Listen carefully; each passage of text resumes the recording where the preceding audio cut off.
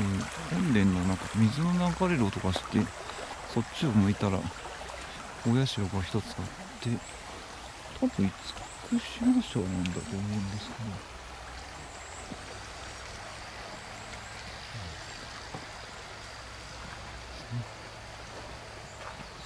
参拝料としてはこれが三州殿だと思うんですけど三州殿っていうか拝殿ですね。こう水路がずっとあってこういう形ですね。で向こうに神明神社の本殿があるという形です。